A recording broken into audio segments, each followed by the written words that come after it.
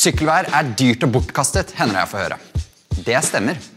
Hvis du ikke bryr deg om forurensning, folkehelse og fremkommelighet. da. Sykkelen er egentlig et av de mest geniale transportmidler mennesker har lagd. Den forurenser ikke, den bråker ikke, den tar liten plass, den er billig, og den gir deg bedre helse.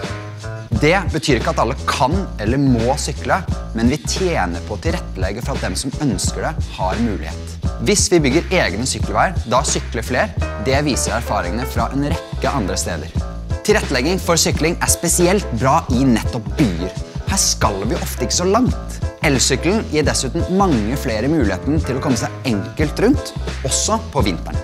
Sykkelveier tar relativt liten plass og er billige å bygge sammenlignet med f.eks. bilveier eller kollektivtransport.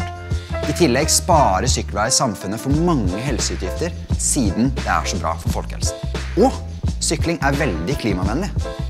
Nevnte jeg det?